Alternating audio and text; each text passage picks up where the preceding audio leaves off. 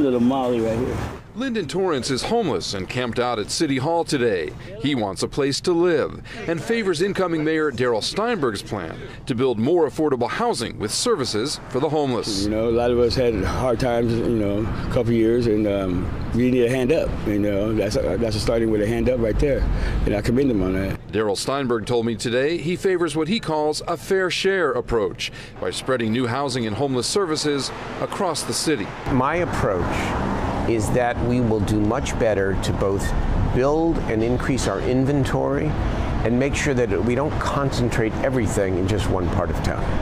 And what would you say to homeowners, taxpayers who will say, what's that going to do to my property value? Well, here's the thing. As I said earlier, the problem, the homeless problem itself, is no longer just a downtown problem.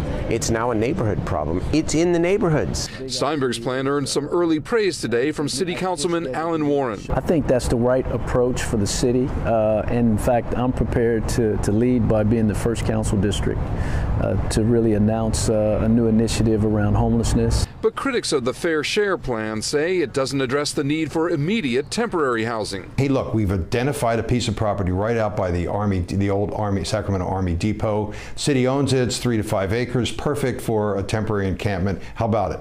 Instead, the response we get is, well, the city's not really interested in, uh, in accommodating people who are presently on the street. They want to just create housing. Well, there's a big gap between those two points, and that's what we have to fill. Steinberg believes he can fill the gap by using tens of millions of dollars anticipated from his No Place Like Home initiative that creates a $2 billion housing bond for the homeless. We need to focus on what we know works. And what works is actually increasing the inventory of permanent housing.